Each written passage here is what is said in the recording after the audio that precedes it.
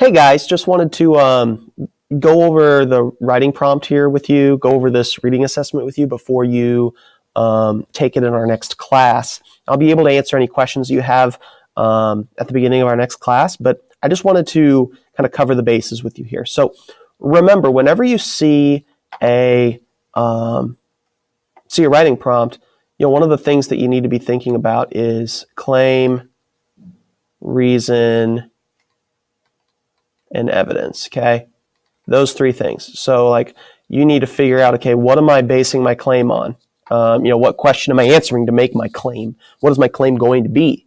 Um, and then ultimately, how am I going to support that claim with reasons and evidence?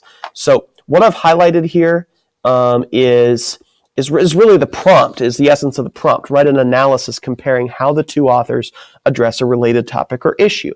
So you're going to see a prompt that relates two different issues. So for the practice assessment, um, I'm going to let you choose whichever ones that you'd like to do. You could focus on the ones that you re- that your group read. You could focus on ones that another group read. I'm not sure why you'd want to, but if you wanted to, you could. Or you could. Um, I, I've, I've left with our substitute teacher um, some copies of a second text um, similar to the one that we looked at with the Berlin Wall speech. Okay, um, it's it's a it's a later speech, Reagan's Berlin Wall speech. So uh, you could you could do that pair, but you, most of you will probably choose to do your own pair. So when we look at um, the the prompt is asking us to compare how the two authors address a related topic. So they either address the topic similarly or they address the topic differently. Um, so that's that's really going to be your claim. Um, so I'm going to write in here. I'm going to start with uh, you know these two authors. If this was a longer piece of writing, I'd do an elaborate introduction but it's not a long piece of writing. This is a it's it's a short essay, so it's testing reading skills. So these two authors, blank and blank, blank and blank, both address the topic, or I could say they address the topic in uh, similar or different ways, or similarly, or differently, um, however you want to phrase that. Okay, there's your claim. So once I got my claim in there that answers the prompt, I got to start thinking, okay, what are the reasons that I'm going to use to support this? Um, well, it's telling me that I need to include how the author connects ideas, events, and or individuals to reveal their central idea, along with a comparison of how each author employs specific rhetorical devices to emphasize or clarify key ideas. Um, so what I'm going to have to do, I'll, I'll start with my first reason, and I'll get into the first author, or I would actually probably use their name. I'd say, you know, author A, um, you would use their name. Author A connects, maybe they connect ideas and individuals, or maybe events and individuals. Individuals um, to reveal their central idea blank. You know, what is their central idea?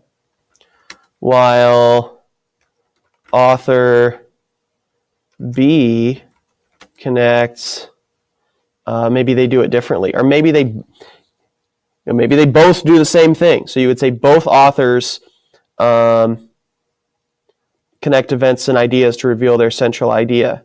Author A's central idea is blank. Author B's central idea is blank. That's how you would do it if it was similar. I'm going to show you how to do it if they're different.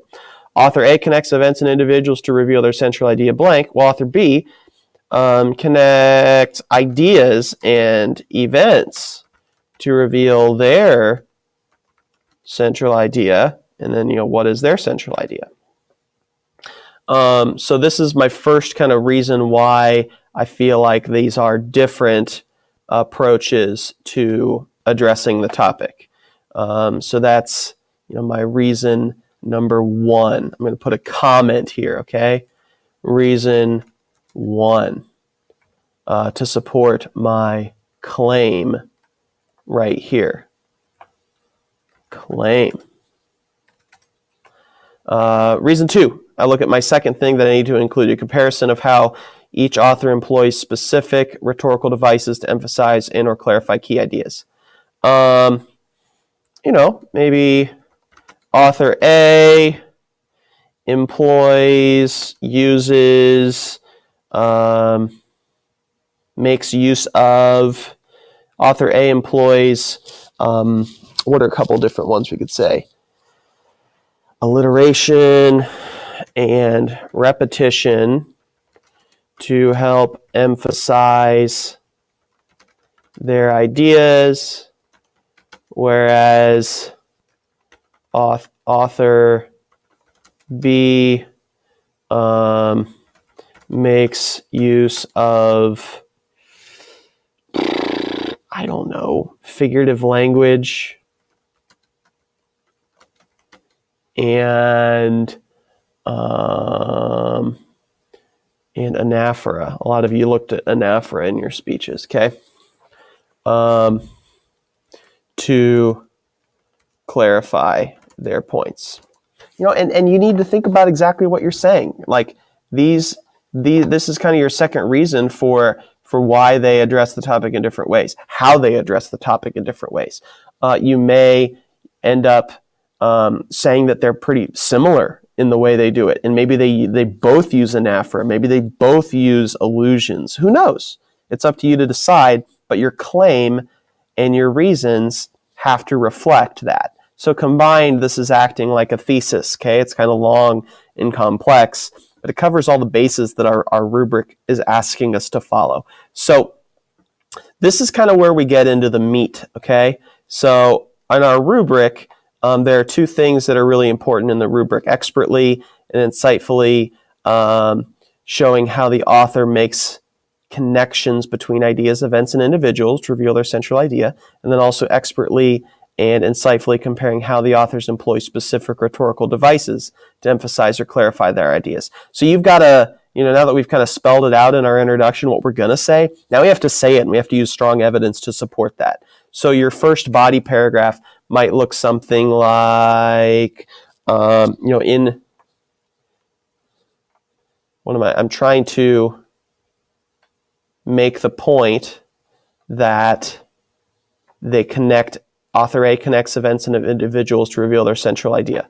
Um, so I might say to begin, author A, again, you would use their name, um, connects people and, or I'm sorry, I said ideas, ideas and events to reveal their central idea.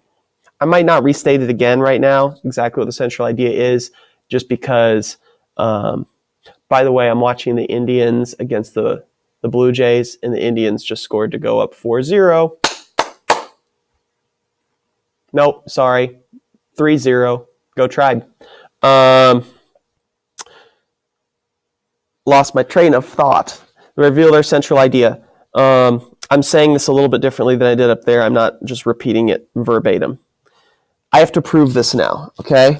Um, so I might say an anecdote, which is like a short true story, the they use in their speech about blank helps make the point that da da da da da da da da da da da da da and kind of get into how that makes a point that's related to their central idea. Um, this uh, you know, and maybe say later on in the speech, they bring up the idea that da da da da da da da. This helps the reader understand da da da da da da da. Um, and that's kind of where we're at. You want to do the same thing to support your ideas. You'll, you'll get into uh, author B, and then you'll get into kind of the rhetorical devices and giving evidence to support it and in your reasoning to explain it. Okay, so work on that, do your best, and I will see you guys in our next class. Have a good day.